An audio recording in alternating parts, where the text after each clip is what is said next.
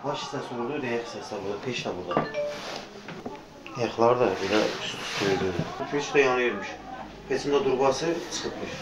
Qan var idi başında, başında var, arxasında var idi. Qonşu burada heyvan saxlayır. Qonşu da. Səhər-səhər gəlib bunu çağırır. Rəhmətli çağıranda elmə elmədə görüb hay vermir. İçəri gəlib, içəri gəndə o qapı zad açıqdır. Yox.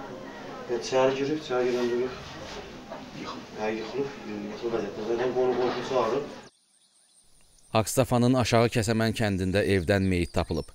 Ölən şəxs 26 yaşlı Elməddin Hüseynovdur. Yaxınlarının sözlərinə görə o tək yaşayırmış.